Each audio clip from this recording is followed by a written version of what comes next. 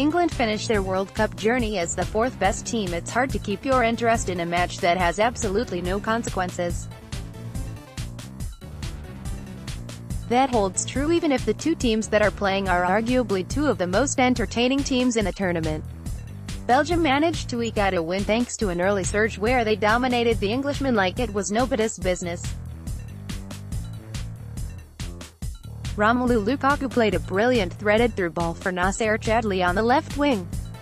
The wing-back then whipped it into the corridor of uncertainty where Thomas Meunier had ventured into to tap it in. With more than a couple of their premium players not starting, England took their sweet time growing into the game. In the end, whatever they proffered proved to be too little.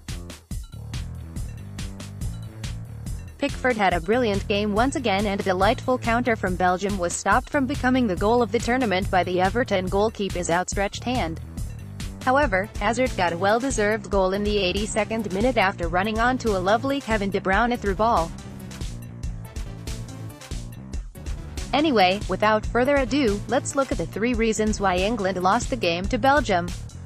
For all the potential that Loftus-Cheek, Delph Dyer have choosing to start with him is a major step down especially if your go-to guys are of the quality of Lingard, Dele Alli and Jordan Henderson fact. And that perhaps wasn't the best approach to take as Belgium looked set to go for the kill from the get-go. While Loftus-Cheek was decent, Delph did nothing of note and Dyer struggled in midfield against Tielemans and Kevin De Bruyne. Once Alli and Lingard introduced in the second half, England's game picked up pace and they were creating a lot. But,